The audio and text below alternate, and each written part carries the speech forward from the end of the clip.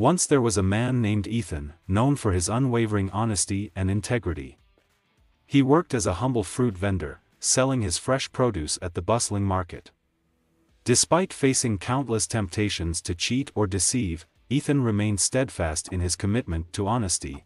One day, a wealthy merchant noticed Ethan's unwavering integrity and offered him a job at his prestigious company. The merchant admired Ethan's character and believed that his honesty would be an invaluable asset. Years passed, and Ethan flourished in his new role. He earned the respect and trust of his colleagues and clients alike.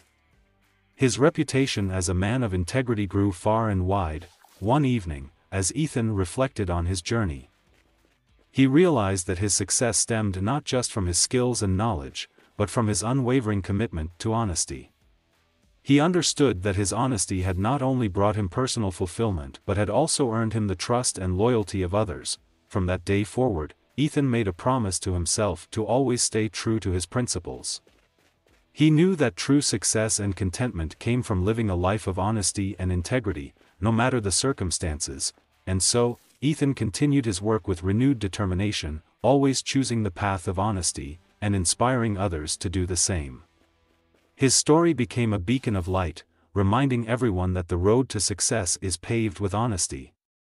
And that a person's true worth lies in their character.